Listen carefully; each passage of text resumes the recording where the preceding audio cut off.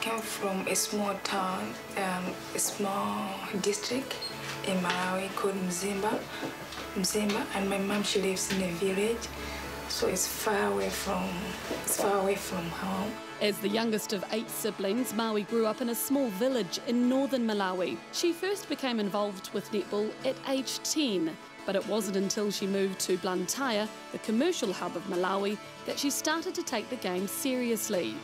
Tactix coach Lee Gibbs has been a long-time admirer of Mwai, and with the exit of Jo Harten this year, she made it her first priority to sign her. Since moving to New Zealand, Mwai has grown a strong bond with her new Kiwi family. Yeah, she's my mom, yeah.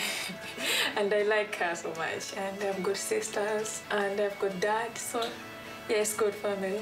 They're a nice family. They look after me. They teach me everything.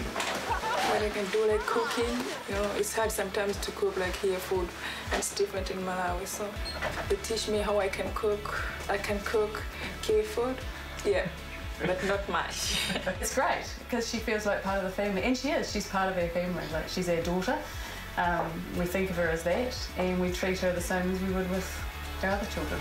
Kumwenda, hot step, jump, and it goes. Wow. She can do everything out there. It's good for me. Sometimes I don't believe that I'm in New Zealand playing for the best competition in the world. I really enjoy it because I meet good girls, I love the girls and good coaches, so I'm having a good time. Mwai's first season at the Tactix has seen her grow immensely, and she's developed into one of the most intriguing figures in the ANZ Championships.